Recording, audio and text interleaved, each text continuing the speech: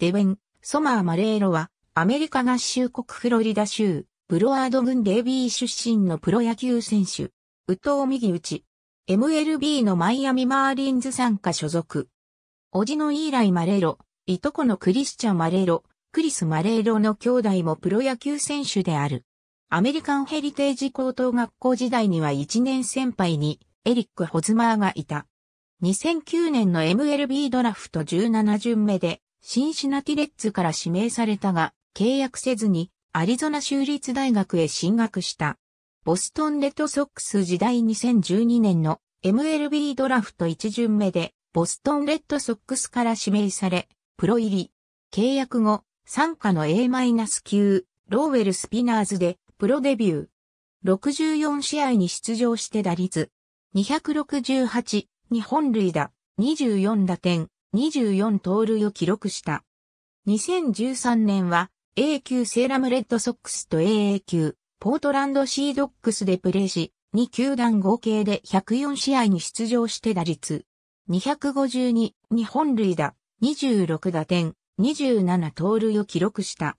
2014年は AA 級ポートランドとトリプル A 級ポータケットレッドソックスでプレーし、2球団合計で118試合に出場して打率。258、6本塁打、59打点、16盗塁を記録した。オフにはアリゾナフォールリーグに参加し、サプライズサグアロスに所属した。2015年は開幕からトリプル A 級ポータケットでプレー。6月25日にメジャー契約を結んでアクティブロースター入りし、28日のタンパベイレーズ戦でメジャーデビュー。9月28日のニューヨークヤンキース戦では、ケーレブ・コーザムからメジャー初本塁打を放った。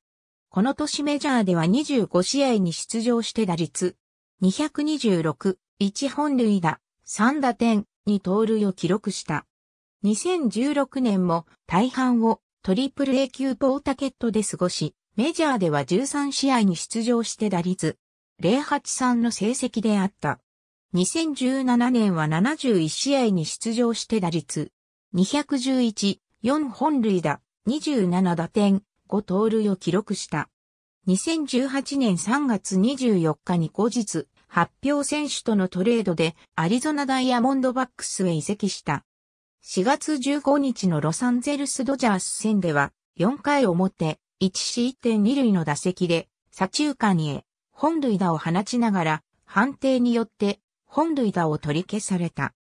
本塁打がライナー製の打球だったことから一塁へ帰塁中の一塁走者を一塁付近で一瞬だけ追い越したところドジャース側のチャレンジ要求によるリプレイ検証の末に審判団から二塁でのアウトを宣告された。